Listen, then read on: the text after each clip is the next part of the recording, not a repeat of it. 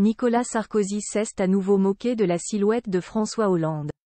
Et s'est avec l'humour Kwon lui connaît que l'ancien président n'a pas manqué de lui répondre.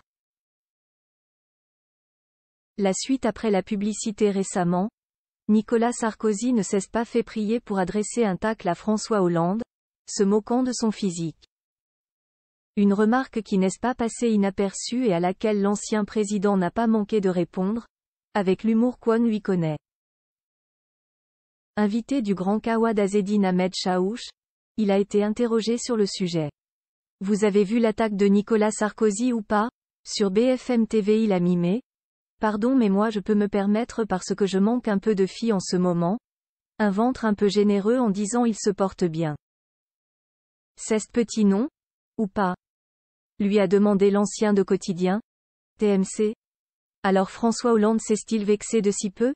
Il semblerait qu'il en fasse bien plus pour faire perdre son humour à celui qui partage la vie de Julie Gaillet. Moi Il me fait toujours rire. C'est quand même formidable d'avoir cette obsession y compris sur ma ligne.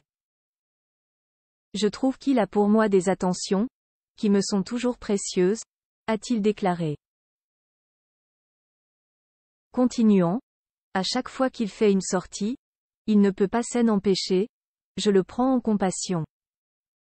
Ne manquant pas de rappeler que côté ligne, des efforts avaient été faits. Nicolas Sarkozy se moque de la silhouette de François Hollande. Il se porte bien. Inceste le 15 décembre que Nicolas Sarkozy s'amusait à donner son avis sur le physique de son rival.